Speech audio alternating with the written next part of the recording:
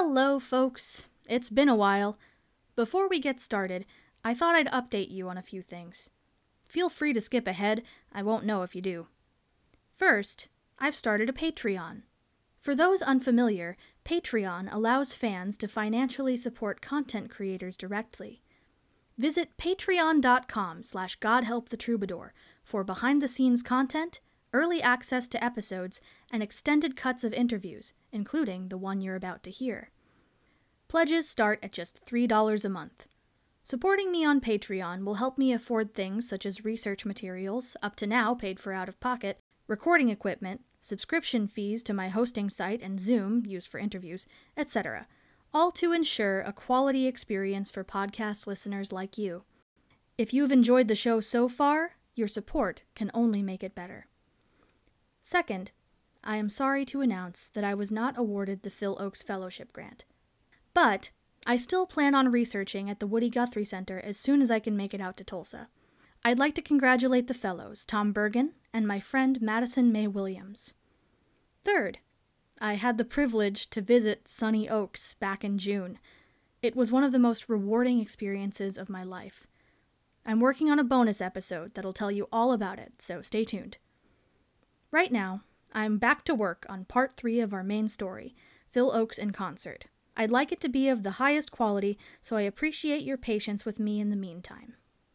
In the very near future, you can look forward to an interview with Lee Housekeeper, a very close friend of Phil's with many amazing stories to share.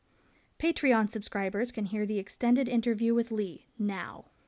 In this legacy episode, I'm talking with Sonia Rutstein of Disappear Fear. Sonia is a brilliantly talented musician influenced a lot by Phil Ochs. I highly recommend her tribute album Get Your Phil, that's P H I L. It's always such a thrill to have a conversation with someone who loves Phil as much as I do, and I really hope you enjoy listening in.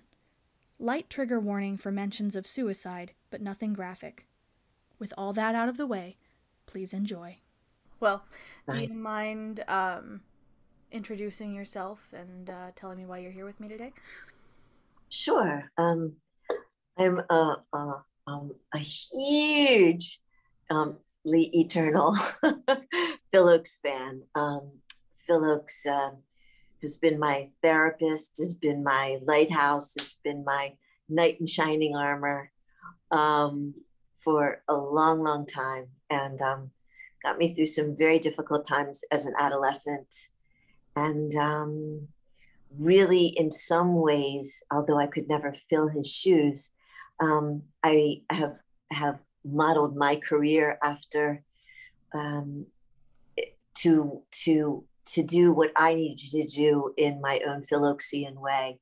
That is um, to say what's in my heart and what what I feel needs to be said, regardless of one person listening or 20 people throwing tomatoes, which didn't happen, or um, or, or or whatever it was. I just really really have have tried to be true to what it is I needed to uh, to to communicate in order to connect with people, and um, Phil was, I think, the uh, the king of that. So um, for me, and um, on in, in, terms of in terms of particularly social connection, um, a community connection, political connection.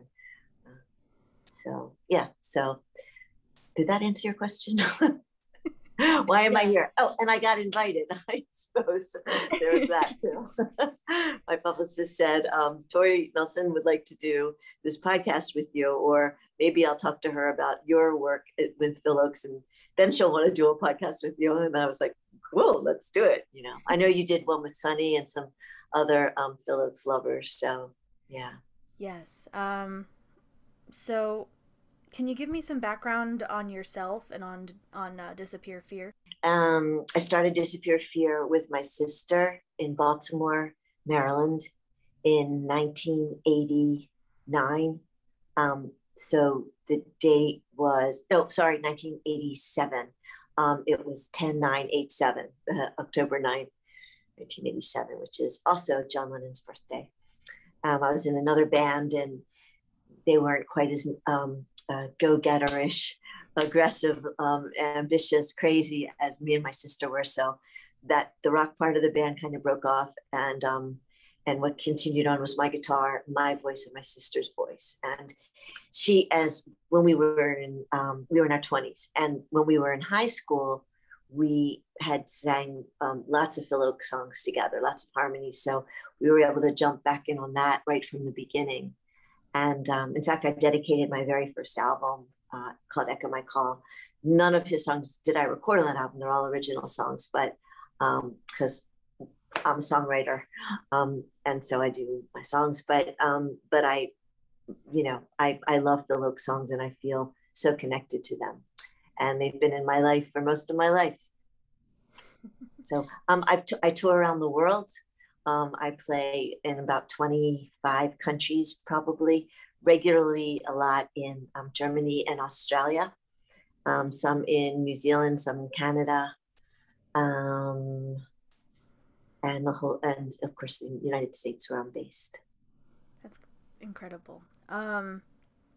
Something that I really liked about uh, your album uh, was adding harmonies to Phil Ochs songs because it's it's kind of hard to do, and it's um, they really lend themselves to harmonies, um, and they and they sound incredible when you add a harmony to them. So that was um, probably my favorite thing about your album, and um, I'm not I'm not the kind of person that listens to a lot of Phil Ochs covers, but I discovered Get Your Phil in around 2015 when I was really getting into Phil, and um, and it was you know it blew me away. Um, so cool. yeah. Um, so when and how did you find out about Phil? Well, it's an interesting. I can remember it very very clearly. I was um I was taking a walk with my boyfriend, Steve, and um, his birthday was yesterday, actually, but probably not by the time this is broadcast. um, but happy birthday, Steve.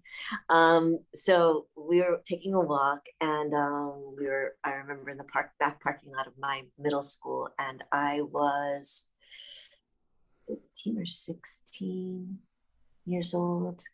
Um, and something like that. And um, I was I was in high school, but we were walking in a different place.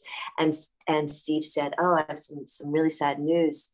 And I was like, "What what happened?" And he said, "Well, Phil Ochs died. Um, he actually um, committed suicide." And I said, "That's horrible." And then I said, "Who's Phil Ochs?" And he said, "What? You're a singer songwriter and you don't know who Phil Ochs is?" And I was like, I don't know. So he proceeded to give me this double album called Chords of Fame. And um, wow, that was so awesome. So that was my first, you know, thrust in the deep end of, of, of Ochs music. And that's really the core stuff of what musically I love about um, Phil anyway, because I love the um, the spontaneity, you know, the and the just the brilliant, crisp sharpness of him in the moment. You know, I won't say attacking the audience, but I will say pushing the barriers and speaking what he needs to, speaking what needs to be heard really. Um, and and just you know fearlessly. So um so uh, that was the beginning of it. And i just you know i thought his voice was i've talked about this actually before but i thought his voice was kind of honky. It was like is there anybody here? I mean it was like it was so 1940s almost like that you know um sort of that that that kind of sound, you know, and I think that was natural for him. He was not really, you know, a rocker, you know, there really wasn't, and he, he didn't really, I don't think, listen to a much, much R&B. You know, he was in the, I think the marching band at, at um, when he was in military school, um, which I did get to perform actually at that very school. It's a call, it's a um, college now and um, a private, small private college. And it was so cool to see the cafeteria like I was like, wow, you know, it was it was cool. I, I, don't know why, but it really was. I was really vibing it. I was really trying to think what it was like, how it was for him, looking at the sunlight through the through the shades, and and how that affected him, and what his thoughts might have been walking through those sort of dimly lit halls and and that sort of thing. So, yeah. Anyway, um, uh, so that's that's when I felt found out about Phil Ochs, and then I got um, a songbook. Uh, uh, tried you tried and figured out chords, and uh, the war is over and read those there's that songbook has um for, uh, published on his publishing company barricade music has different um different articles that were written about him and yeah. i think one of the quotes was it would have sounded better had his had his fingers been webbed and at first i was like that's a joke. And i just so i i really to this day i don't know if he was just dissing on himself because he was so you know satirical and and and i think he had trouble letting in a lot of love you know? And at the same time i think he thought he was pretty awesome too. I think he had like sort of that double you know that double that double thing that which which bipolar people have yeah. you know i'm wonderful i'm terrible yeah. he really contradicted himself a lot uh, mm. but yeah mm. uh, i love that songbook it's a it's a beautiful piece of art um uh it's really interesting that you got to play at uh the former location of Staunton. I didn't know. I knew the school closed, but I didn't know I just figured they tore the building down, so I'm I'm I'm glad it's still there in some other form.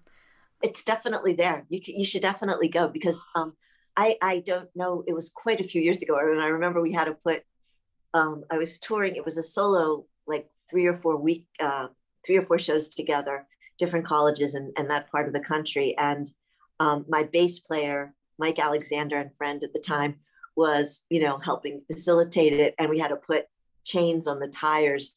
I remember to get through the snow and they were like falling off. Like it was just not easy. It was not an easy excursion, but certainly well worth it. And just, you know, I, it was sort of almost like a coming home. I liked, um, I liked the gig very much. Yeah. yeah.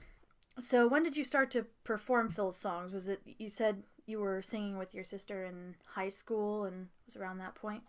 Yeah, yeah. So I probably was about 15 or 16 when I started doing his songs. Um, I loved doing them, and it, and it definitely affected, um, both on purpose and probably through osmosis, um, my songwriting as well. Just to find that point and to build that drama and that tension and release that that you want in a song that that brings you in a song that um, where the twists kind of happen and um, uh, i mean my my form format is uh, is a more pop format whereas his was more i won't say sea shanty but sea shanty um you know what i mean um you yeah. know like the seven or eight or 11 verses like in um the letter to robert kennedy that he got to sing i mean the letter to john f kennedy that he sang to uh, oh, crucifixion. Crucifixion. Yes, thank you. I think we, we I think we saw it at the same time, and I'm not sure Zoom caught it, but I got it too. so, um, yeah, crucifixion, which Greg Greenway does an awesome, or did do an awesome job of that song. I don't know if that rings a bell for you, but um, it's really that he he he has nailed that song. You know, Sonny organizes us into groups that we've done. I've done many Phil Ochs nights with Sonny uh, probably at least 100 or more over the years and uh, decades the the way that she became familiar i think this is an interesting question so i'll just ask myself how did you become familiar with Sonny? um, how, how would i get into the Phil Ochs that fold was um, on my on my first uh, really largely internationally released album when I, when I first signed with Rounder Records in 1994 we covered uh, uh, is there anybody here?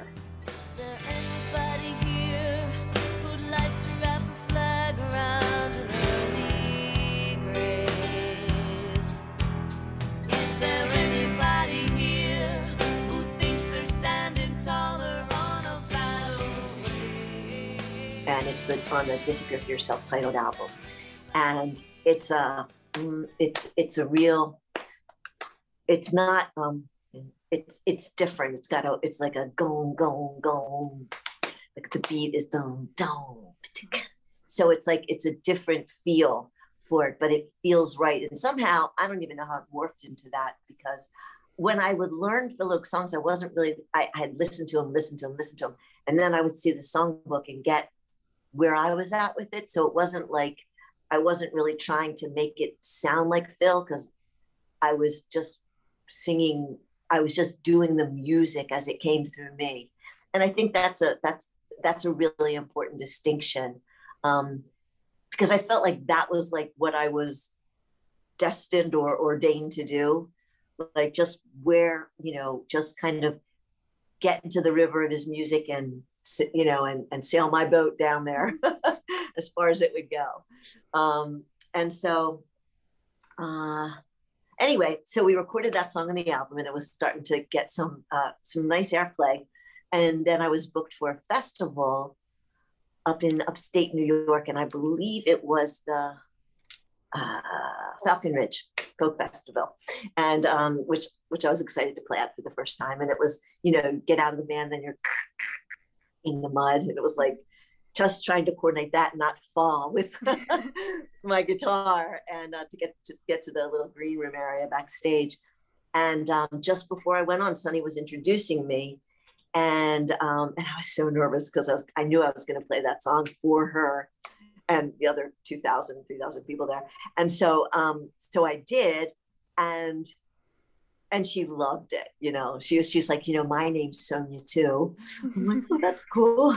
Some people in college called me Sonny, but Sonia's what I go with. So, but um, and it was it was just a thrill, and she was so happy, and um, it's brought another whole generation or two to the Phil Ochs fold. Clearly, you're one of those generations, and um, and that's just so cool. A lot of people think I wrote the song because everything else I'd ever recorded prior to that was mine, written by me. And it's not his version. You have to sort of like, you know, figure that out. So, um, or you don't even, you know, anyway, that's a huge compliment. But, but I, I just love that song and, and at least another, you know, 30 or 40 of his songs. it's so funny that you, that you said, I'll just ask myself this question because it was that it was going to be my next question. When and how did you meet Sonny Ochs? Oh, ding! because she's you know, she's fabulous. Um, but she doesn't have she but she doesn't have the cool tattoos that you do. no, well I've got Phil right here. awesome. Yeah. Uh, well, we were talking about is there anybody here? Is that like among? I was gonna ask if you had any uh, go to favorite songs to play. Is that up there for you? Yes, that is definitely up there for me. Um, the, the, the, I have it, it's, it's been recorded many times actually. Um, I have it on a couple of my live CDs and, um, and then of course on the Get Your Phil CD, me, I did it, which is also 90% live. We recorded that whole album in three days. So it was done pretty quickly. you know, recorded mixed bloom.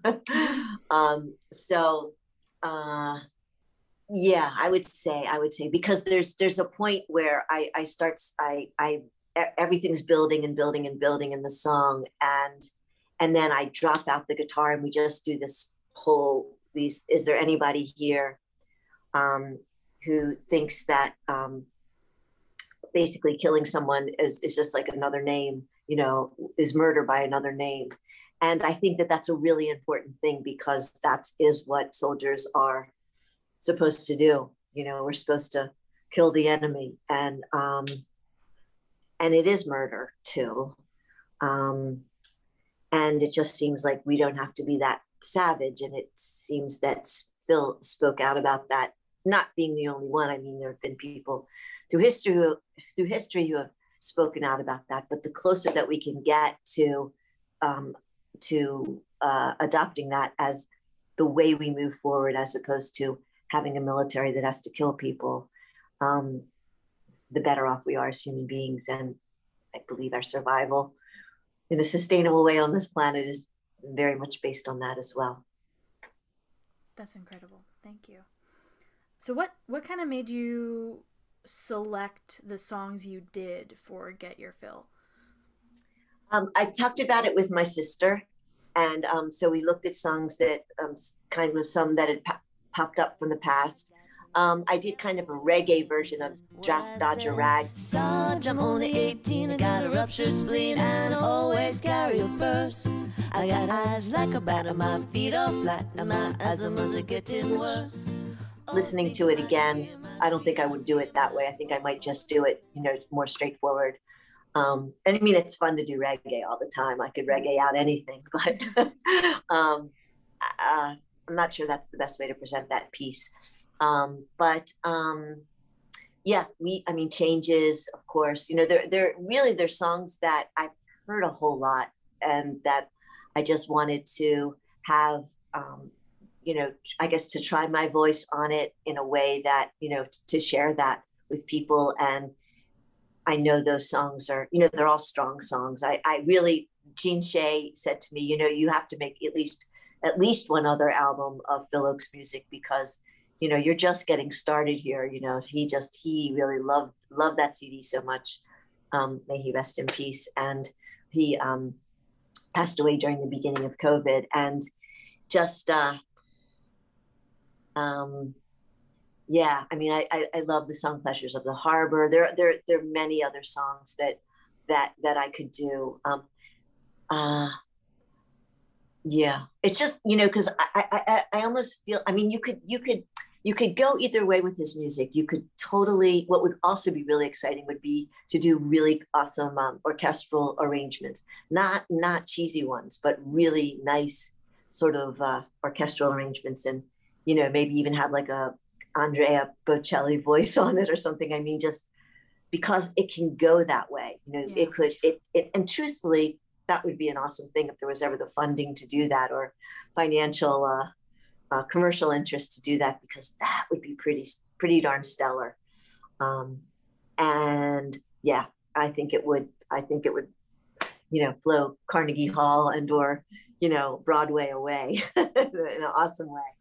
Um, that would be that would be something. But but then again, and and I I share this with uh, other songwriters. Um, it's really what we did on the Get Your Phil CD, due to um, really the, the core essence of the music was and, and also you know time constraints was to strip it down to just a, a single voice and a single instrument or two voices and an instrument uh, and and and and see and, and the ride still still still still works you know you still get there you still mm-hmm. get the song and um,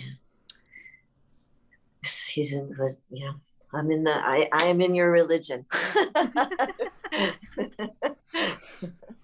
so um one track that really really stands out to me on Get Your Phil is uh is I've had her. Ah. Uh I I know Sonny hates that song. I have uh I have a uh I have a weird connection to that song because it doesn't have any business being that beautiful. Um, but uh, I mean, of course, it's it's Phil, so it's got this. Uh, it's it's written very well. But what made you want to mix it up with "Because the Night" by Patti Smith? Because the night belongs to lovers. Because the night belongs to us. Because the night belongs You know, um, it's funny that you said, does she hate my version or does she hate his version? She just hates the song in general, I think. Right, because it's so womanizing. Right. Um, good for her. Yeah. and and and she's a thousand percent correct. I mean, it is. And at the same time, it's sort of like a bad car accident. Like you just want to not look at all, but you sneak a peek and then you can't stop looking. They say. Um, uh, I I could I have nephews. I have young people in my family. I have, you know, people that have other emotional, serious, you know, emotional difficulties, as we all do on different days, and some much stronger than others. So I could never promote the idea of suicide. Um, now the only way to touch her is the gun beside um, my bed. Um, I could not use that that way. I, I, I just couldn't um, because my philosophy, I'll just digress for a second, is that I know I'm going to be dead a lot longer than I've been alive and or will be alive. And um, so what I leave behind will be what there is for the millenniums. And if we make it, and um, I could not, I could not leave. I made a choice early in my career that I wasn't gonna, you know, um, be about destruction and evil and and um, negativity that I always wanted to that I wanted to plant a seed or or or always have a a ray of light and hope and in something and you know some kind of lifesaver support. So i added because the night because i felt like i didn't even do it on purpose. It just i don't know how it happened. It just i was playing the chords uh, and of i've had her and then somehow it went into because the night because it was like if phil was still here I, I, I really feel like he'd be good with it. I, I, you know, I really feel like he would say, awesome, like, like he would like it. I mean, I do. I feel like that was the lifeboat that was missing, or you know, for for for him. That that there's a way to segue into that intensity, um, that passion, and that need for connection into a love relationship, not into um, desolate, uh, forever void. Yeah, despair. Yeah. Despair. Yeah, because Sonny um actually asked me to do that song um, at uh, a, a, big concert that we had in Quincy, Massachusetts, a couple years ago, and um, and I did it, and I, I, I believe I did it on piano. It was, and it was challenging because mm-hmm. I very rarely record that song, and uh, it's uh, but but but uh, or rather not record but uh, perform that song. So anyway, but it, worked out. Yeah. I I just I thought it was so cool. I, I thought you were kind of subverting the original message of the song, which was definitely, I guess, your your intention. Maybe not to maybe not to start with, but it happened, and uh, it it you know it's so unique and so interesting. And it's also great when you consider phil's real relationship or connection with patti smith which admittedly wasn't the strongest. They met like in the 70s when uh, phil was kind of on his decline. But i just saw someone make a comment in the uh, in one of the facebook groups i'm in where uh, the night that patti opened for him in 73 Phil came out before her and said to everyone that she's great, you're gonna love her, whatever, and they thought that was very gracious of him. Um, so you know that's a little little fun fact. Um, but you know it's it's great track. I love it. Um, I'm glad you did it. Thank you. It's a it's a rarely rarely covered song. Yeah, I don't know anyone else who recorded it. Do you? No. I don't hmm. think so. Perhaps like... I'm the only one. I like to play it on my own. Another one of those uh, that I wish, I, I, think Sonny was talking about. She wished people covered more was the party, um, because you don't hear people do the party. And uh, oh yeah, yeah, I'll have to look into that. I yeah. would. It's a, it's such a fun song. Um, so, do you have a favorite album of Phil's?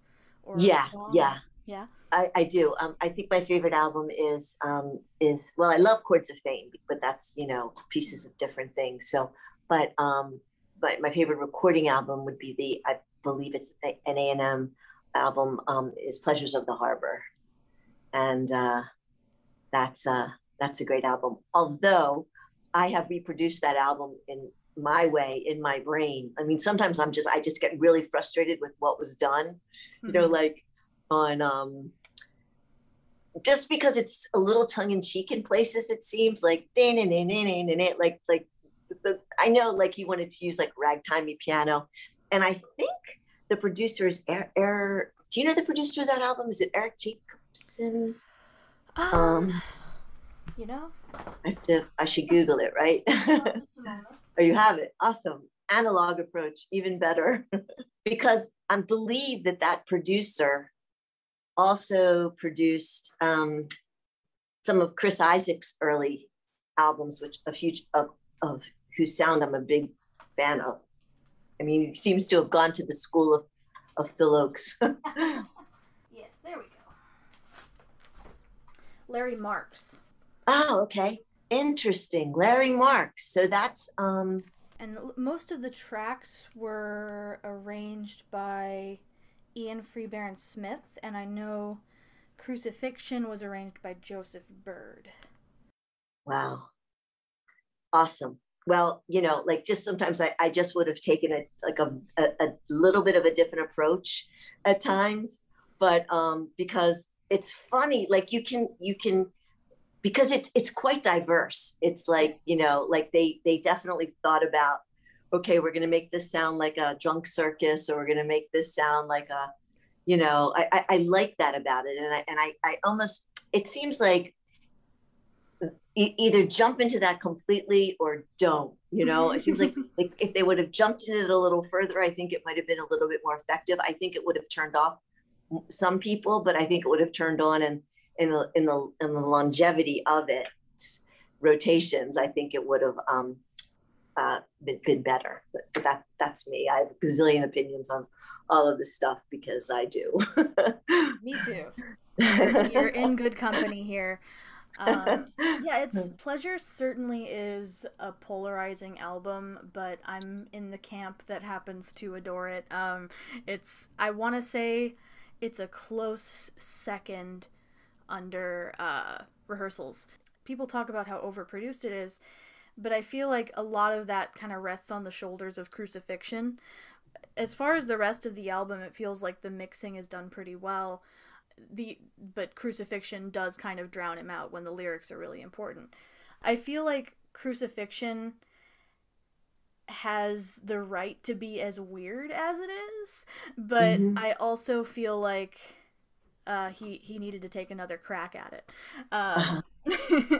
like I would have I would have liked to see that. I would have liked to see it produced to that level, but in a different way. Um, mm-hmm. in in a way that that uh, complements the lyrics and doesn't drown drown him out as much sure. because that's the most the lyrics are the most important part of crucifixion especially that that's something actually that could be addressed if there was the interest in doing it um, after the fact because I don't know what archival stuff is still available on it if, if there is a breakdown track thing, but now synthetically we can we can digitally get in and do you know how like disappearing um you see like oh you can disappear this person in your picture if you don't want them there anymore. Essentially you can do that with with music as well providing you had something that analyzed it individually that you might be able to pop out the eq so that there was some edge to his vocal that gave it some presence um, on top of what already is happening there. So there might be a way yeah. and probably in your lifetime um, that that that could actually happen. I would love to see a reissue of all of the a&m albums. The elektra ones got it sort of i don't know about in concert but definitely uh, all the news and i ain't marching anymore but could be a contributing factor that most some if not all of the master tapes from A&M were lost in that Universal fire in like mm. 2008, I think. Um, however, I did look in the Woody Guthrie Center archive uh, website and they said they had some master tapes. Um, and then, of course, there's, if you listened to the Best of the Rest album that came out uh, last year, uh, it has this rehearsal track for No More Songs, where Phil's, you know, running through the running running through the song on piano and talking about what he wants in it, how he wants it orchestrated. And I'm I'm wondering if at least Greatest Hits survived. Um, I don't know. I feel like that would have to be from a master tape. But then again, I don't know too much about the recording process of music. I'm just I just work here. We talked about uh, Phil's influence on you musically, uh, writing style. Ha- has he had any influence on you politically?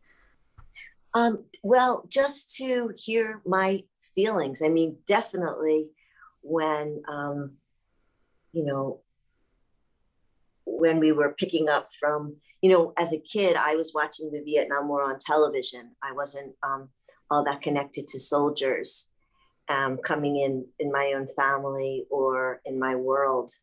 Um, and I saw, you know, coffins, I saw bloody people, I saw lots of, you know, the jungles and the and and everything, and it looked like a terrible thing to to to, to be involved in.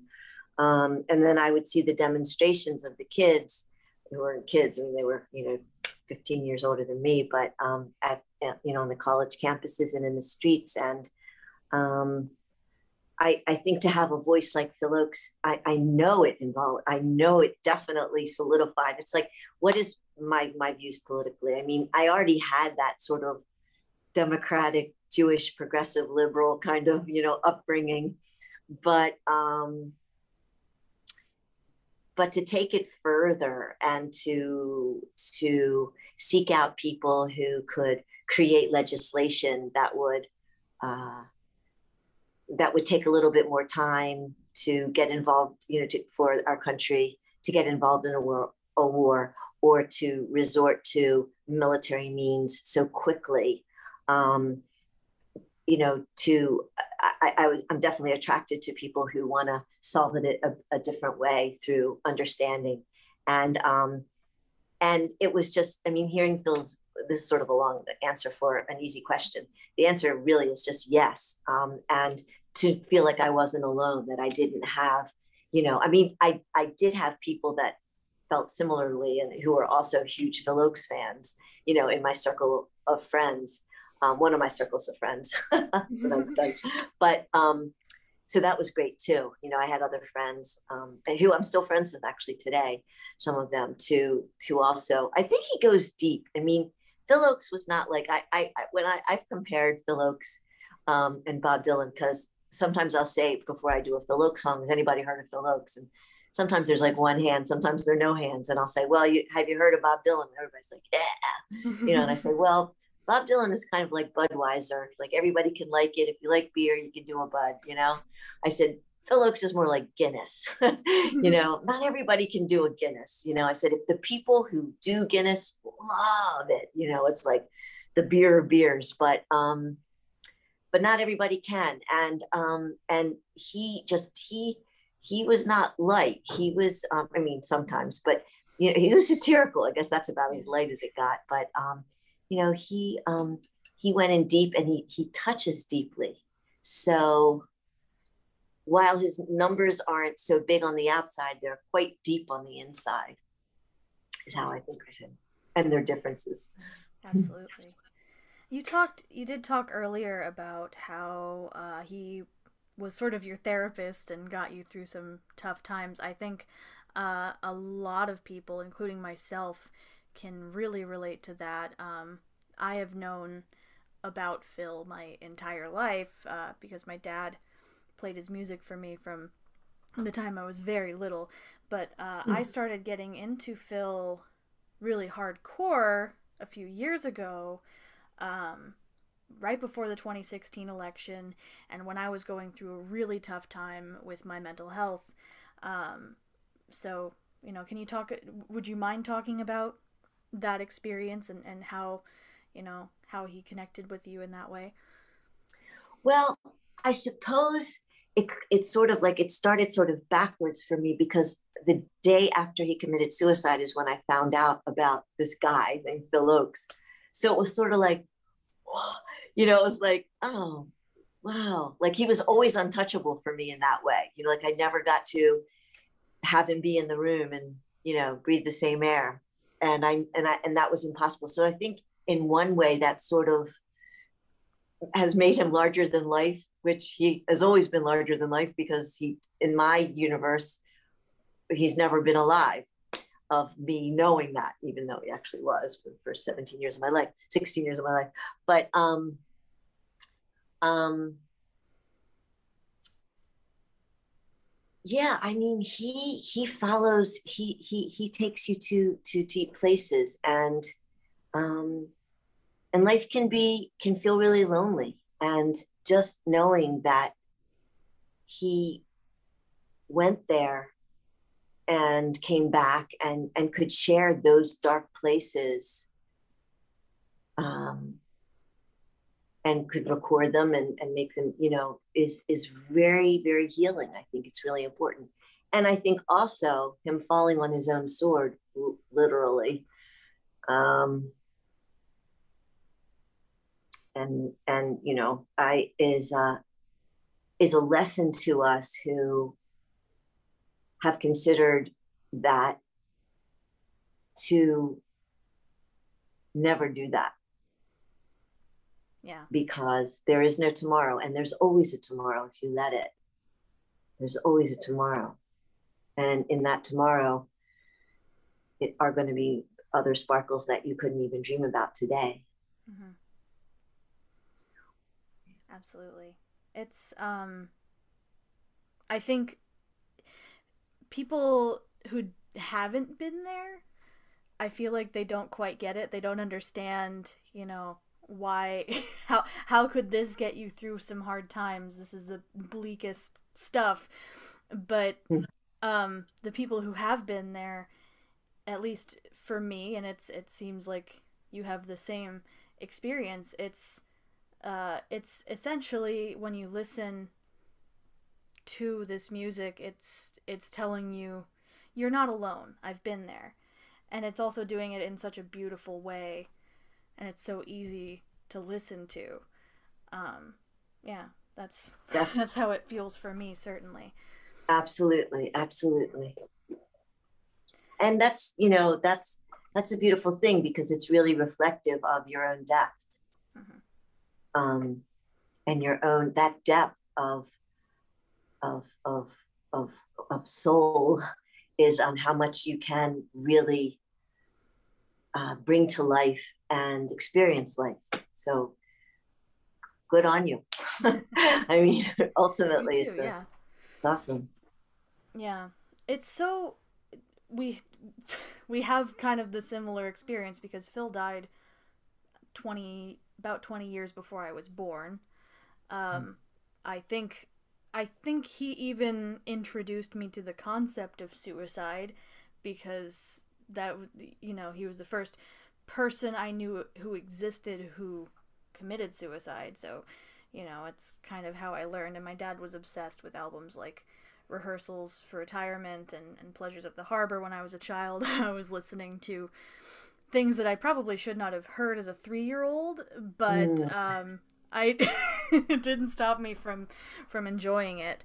Um, are there any aspects of Phil's writing or his music that you feel are overlooked generally by the public? Well, I think some of the songs could be. I wish were more widely known. Uh, I uh, last night I I did a uh, a live a live Zoom concert. A couple of friends of mine are running for to head up the National Organization of Women, and um, and they asked me to do uh, Power and Glory, and I said, "It's done. I'll do it." Power and glory, beauty the words cannot recall. Oh, her power shall rest on the strength of her freedom. So I did it. And I think that's such a great song. And I think I wish that song was more, and that everybody knew that song. Like everybody knows This Land is Your Land. Everybody should know Power and Glory, especially for the verse that we're only as rich as the poorest of the poor, only as free as a padlocked prison door, only as strong as our love for this land only as tall as we stand. Those four lines are like Abraham Lincoln. I mean, those four lines are, yeah. ah, you know, that is democracy. That is democracy. And that is the measurement, that is the possibility, that is who we are, and that is who we aren't. And or who, or who we don't want to be. So it's just so good. Yeah. and I wish everybody knew it. So I think I'm just going a little bit of a personal uh, uh, journey to keep that song alive, and, and maybe I'll maybe when I get back out on tour, I'll, I'll make it a thing to do it at every single show. It'll just yeah. it'll be a it'll be a bread and butter moment. It it certainly should be one of those uh, one of those anthems that that everyone knows. Um, I would, I mean, I would go so far to say that Phil should be a household name. There is a uh, growing population of young people who are starting to get into Phil's music. Um, and I'm not sure if, if you know about the, but I mean, yeah, we've we you you brought it up before, um, but there's there's I'm noticing there's this whole population of young people. Um, I I see Phil's spark in Generation Z, which is made me which is what made me want to do the podcast um, because I, I feel like they can relate to his message and there's there's so much potential for a revival of his music among like among younger populations in the modern day simply because everything he wrote could have been written last week um, so how does that that make you feel um, just the the growing population of, of young people who are starting to appreciate phil awesome. It, it, it, gives me gives me hope in the future. Absolutely. Yeah. I mean, it does. Um, the more, the better. I mean, you know, he spoke the truth, and um, I love when music is real like that. I, you know, I mean, it, fake fake music is good too. you know, stuff yeah. super superficial stuff. You know, and, and sounds and and all that. But I, I I love a song that can, you know, that can that can inspire you to to be better and to get out there um, on the skinny branches and fly. I, I've produced several young artists, and every time that I have, um, we've included a Phil song. Um, I produced the, the uh, writer, singer, songwriter, um, novelist um, Sarah Pinsker, and the song that um, we, we felt was best for her to do was uh, was it outside a small circle? It might have been outside a small circle of friends. I think that was the song, but I'm not positive. It was really good, but I'm not positive. Anyway, um, uh, and then I also have done a couple other artists that um, that um, I think I Lynn Anderson did one. I'm not sure about Sam Weiser, but he did. Is there anybody here with me? And um, and Christy Apps, you know, from Australia. Um, she she we invited her to do some Phil Ochs nights, and that was really good because she's um, you know, she's a youngin and um, she's she she had a really cool approach, you know, to it, you know. So um, yeah, the the more people that the more young people that can do it, the better, better off this whole yeah. world is. that's really great that you that you encourage cross my heart uh, young cross my heart cross my heart was wow. the song that's right cross my heart and i hope to live yeah sarah pinsker it's um the album it was her first album uh, charmed. called charmed. And um wow. my goodness must be like 20 years ago now or something like that. But um but it's it's a good album. She's a great writer. She's she's really gotten all these awards now and NPR's pick of the year for the best science fiction last year. So she's a, you, you should check her out. She loves Phil Ochs, and her dad also loves Phil Ochs. He's a rabbi. sorry, wow. sorry, Pinsker. So yeah, it's a it's a Phil Ochs family. Another one. yeah. Um. Are there well? on sort of on that subject are are there any other artists that you feel like uh, capture the spirit of Phil or who you uh, you know we've, we've talked about it a little bit throughout but if there are any special shout outs you want to give to, to artists that you you know respect and, and uh, feel like deserve more attention yeah. i'd love to well that dude from vancouver whose whose name is eluding me the guy that does amazing Phil um zach stevens yes zach ah, yeah, he's amazing. I mean, he's just so good. I sat, um, we about three years ago, maybe before. Uh, I was in a, a, um, a Phil Ochs workshop at Folk Alliance uh, in Kansas City, and I was sitting right behind Tom Paxton, and Zach got up there. Tom had never seen before. We had had Zach out in um, Seattle. I think we did a show with him with Vancouver. Sonny, Vancouver and Seattle, right? Yeah, yeah, we introduced him to Sonny, and so- and so- Wow. Sonny gets introduced to a gazillion people. She was like, yeah, yeah, yeah, but he was a little bit of a handsome young man, so she was like, oh. anyway, um, and then um, kind of he got to do a song, and she was totally blown away, of course. But he gets it, and and he's just and he's an amazing artist. Um, but yes, and then my friends, I turned on my friends in New York to him, and they were like, "Oh my gosh!" Um, so because he did a show, I guess at the winery or something of, of Phil's. Um, uh, on the podcast. yeah, Tom, Tom Prasada Rao does beautiful versions of Phil's. Um, I love the hams version that um, Pat and Sandy do from Emma's Revolution.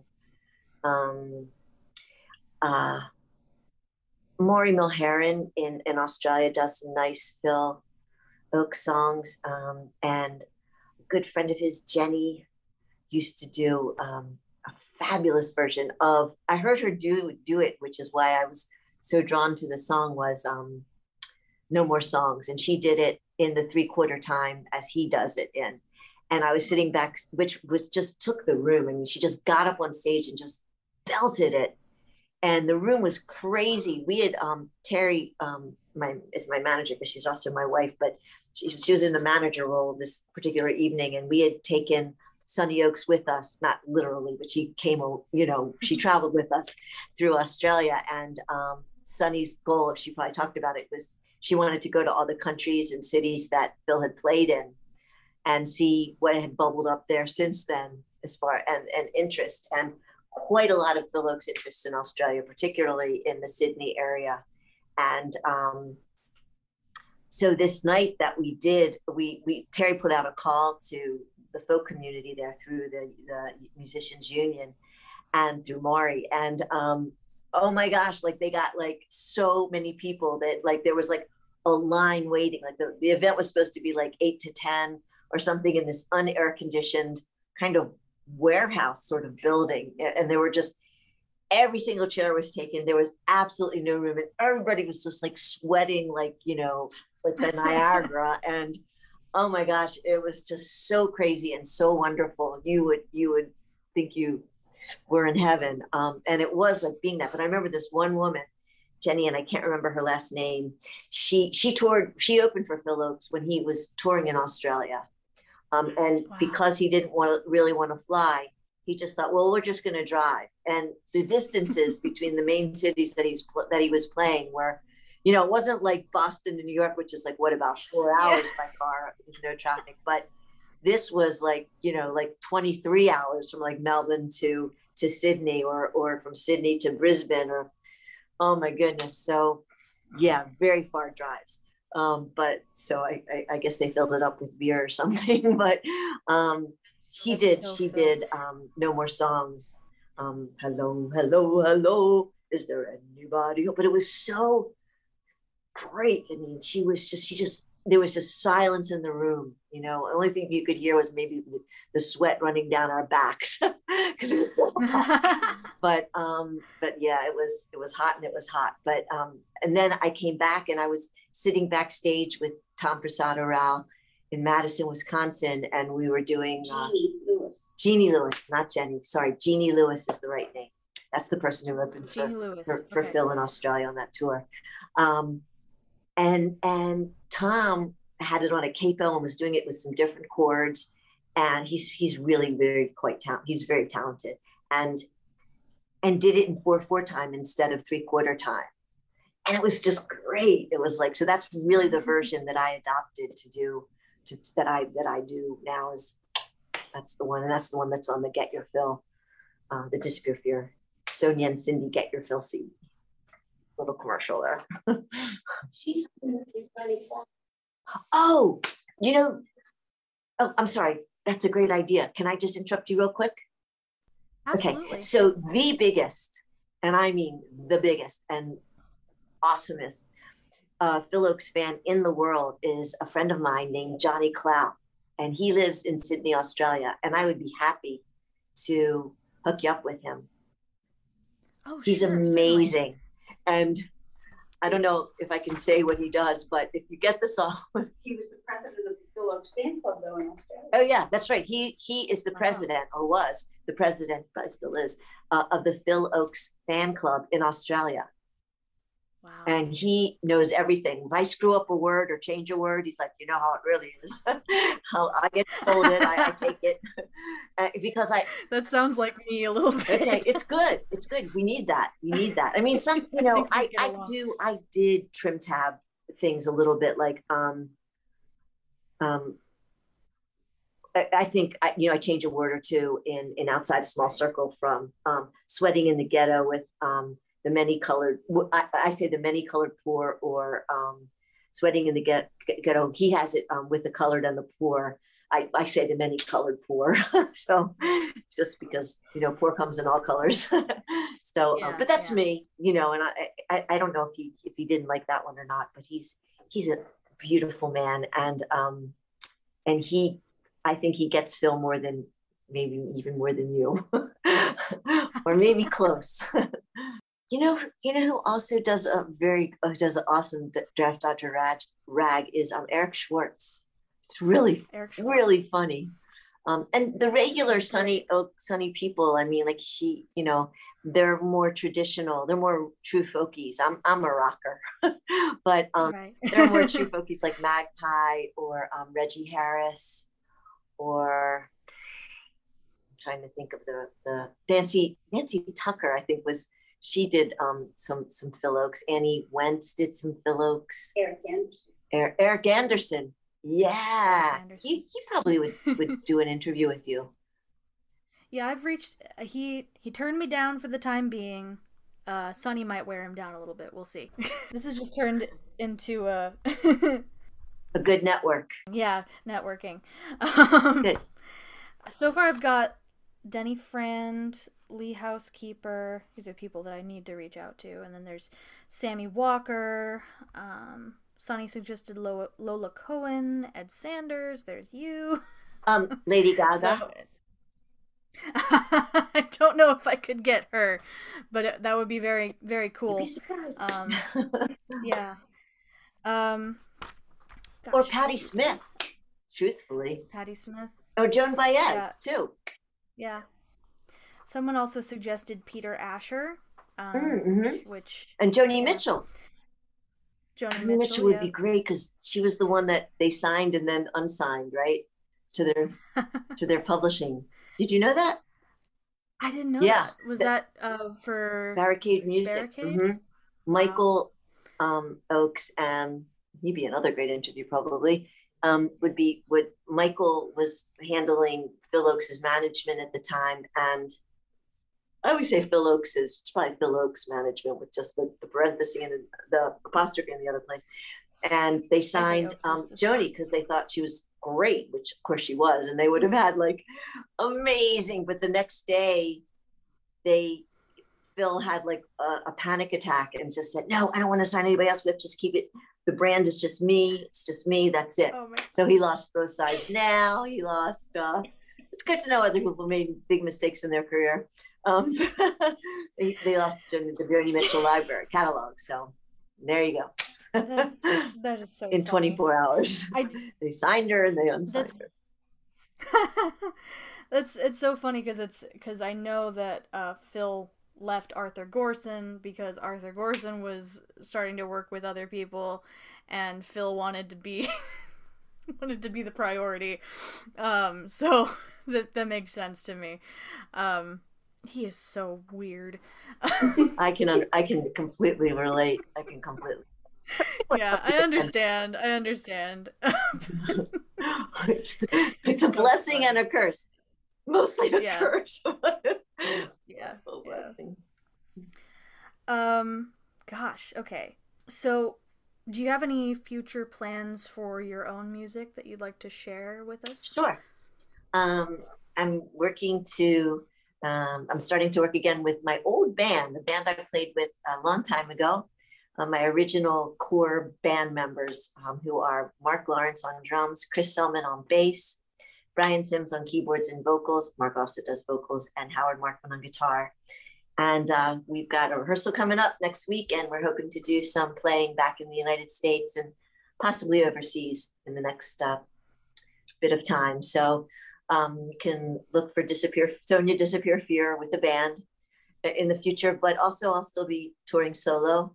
Um, I am working on my autobiography and I don't know, it's probably going to be like a year and a half actually before, it, you know, when it, when we, when it's completely done, my part of it, because Terry said publishers take a long time, but, um, but that's, that's happening and that's going well. Um, and um, I have um, uh, of songs that that need to be recorded, so that will have to come out into um, into fruition too. So, yeah, um, I got a piano, I got a guitar, I'm ready to go. uh, something I didn't have written down, but uh, would you ever do? Would you ever do another tribute album? Um, or would you even write a tribute? Have you written a tribute song? Would you write a tribute song? Oh, I've had him. He's something. but I've had him. I've had him. He's driving me crazy. No, um, yes, I would absolutely do. I would absolutely do a tribute album. Um, it's it's been on my mind, and I've gotten really more requests than I'd like to have gotten for it. the first one's not enough for you. Um, no, no, I, I would, I would, I definitely would. And I think, you know, it, it's, a, it's, I have, you know, there's, there's, there's, there are many people who have become turned on to my music because of Phil Ochs. It's gone both ways. I'm in front of people. When I've done the Phil Ochs nights, you know, we barely go away without selling every single piece of in, in the past, every piece of music I have. Um, because it's there's a deep connection there and it and it you know, I mean, you, you can hear it and and I feel him. It's very palpable for me. Um, um, so so and and and I have dear I you know some of my friends. In fact, this one guy, particularly Mark, in in New York, is you know he saw me at a Phil Ochs night in in New York, and he has become a very very close friend of mine, and we like a lot of the same music, and so you know that's a deep wonderful friendship that never would have happened had there not been that so and that's just naming one but he's a special one yeah yeah. And here we are. This is so cool. Yeah.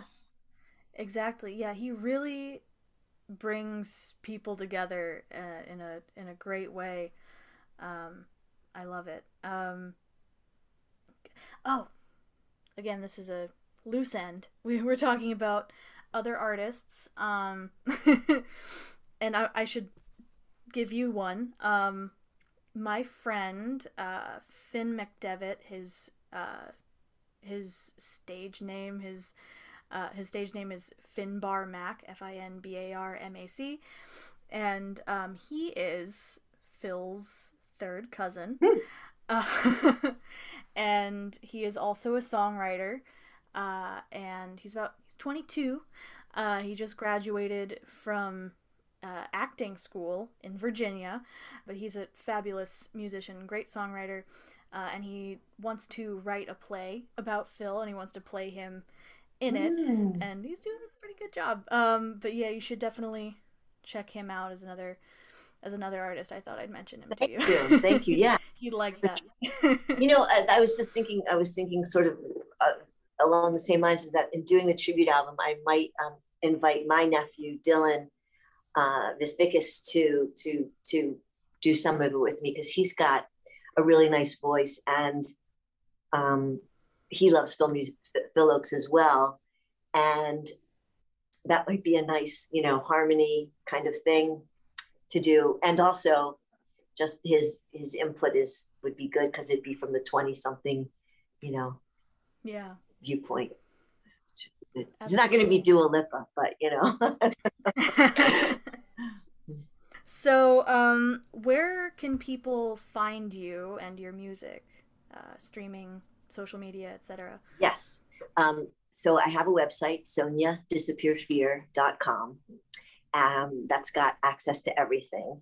And, um, but of course, I'm also, you can, you know, you can listen to it on iTunes. You can listen to it on Spotify. You can um, get it um, through Amazon or eBay in, in Germany. Um, uh, yeah, that's that's you know, um, or Pandora, I should say. You know, all the all the regular places. I think I think those are the regular places, pretty much, right? Oh, YouTube. What am I saying?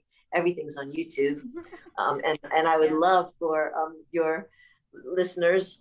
Hello, please subscribe to my YouTube channel. It's Sonia Disappear Fear, because that helps me um, when I get over um, a thousand subscribers. Then I actually um, can get a little bit of a penny for um, for airplay. So until that point, I don't. So even if I get a gazillion, like even though I have thousands and thousands of listens and, and views on different YouTube things, until you have over a thousand, a thousand and one subscribers, it doesn't matter. And I'm just underneath it, so I'm close. You heard her, folks. Subscribe to Sonia's YouTube channel. Is it Sonia Disappear? Fear? yes. Will you? Okay. I, put you will. on the I spot. Right this, I. I promise. Okay. Thank you. There's one. I'll do it right now. I'm doing it right now. I've got my phone out. you are awesome. You got to keep this in there.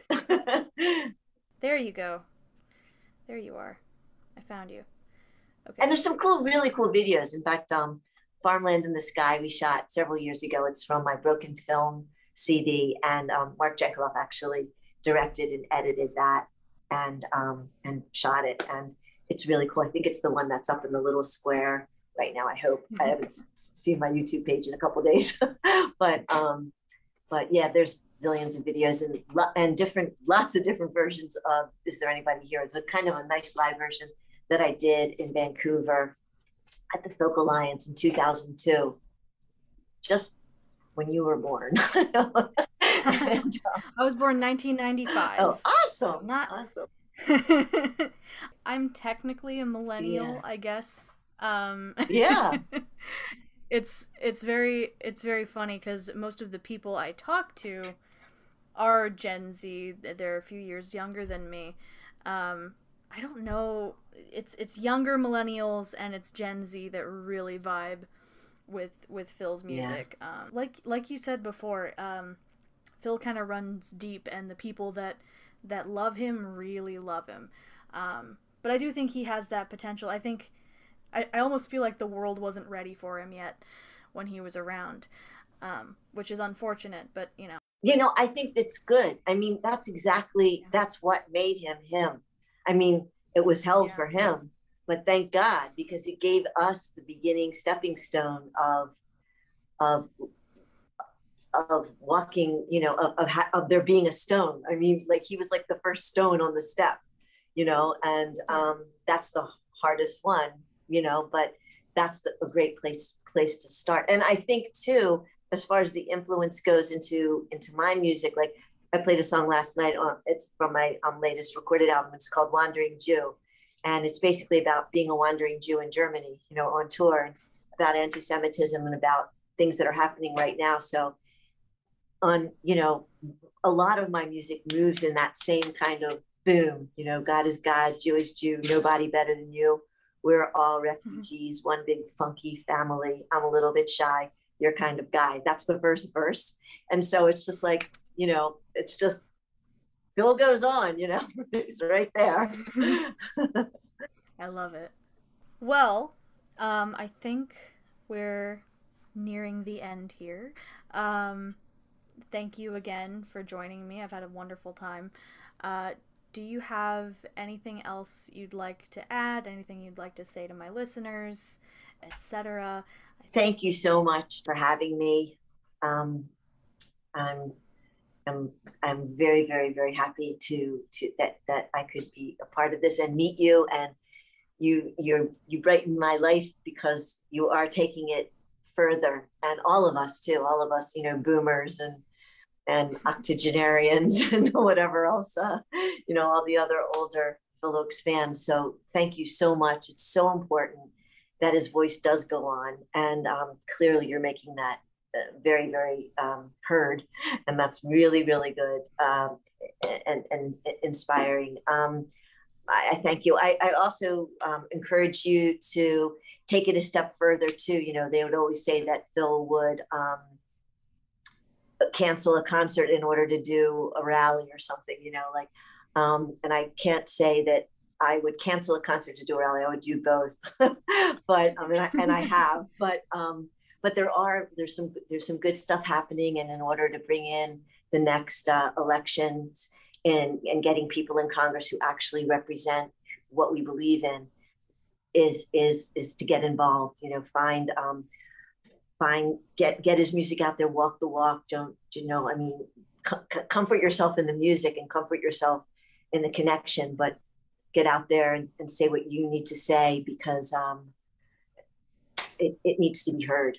It, it, it really does. And that is salvation. That's when, when you put your head on the pillow at night, you can actually sleep after you've done everything you can do that day. So um, I happen to be involved in the NOW organization right now, which I advise, not advise, but I welcome anybody who wants to, especially young people who want to become involved in that, men and women, non-binary, whatever, all good.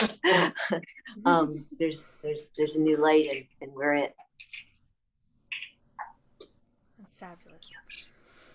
Well, thank you so much for joining me again. Um, that brings us to the end. Okay. Gosh. I just want to keep going. It's great. Well, let's do Um, another one don't wanna- sometime. This was really really cool. Yeah. Thank you.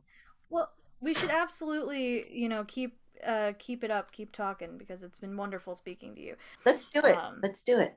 Yeah, absolutely. Anytime.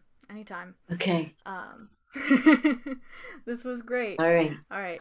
Mwah. See you. You I'll see you soon. Thank you. you. Thank you. Okay.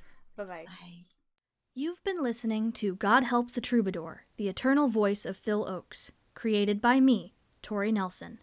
Creative consultant, Marie McCarthy. Once again, today's guest was Sonia Rutstein of Disappear Fear. Remember, you can find an extended version of this interview and more on patreon.com slash godhelpthetroubadour. If you love the show and your podcast platform of choice allows for ratings and reviews, please leave me a five-star rating. Stay tuned for my interview with Lee Housekeeper coming very soon. Farewells and fantasies, folks.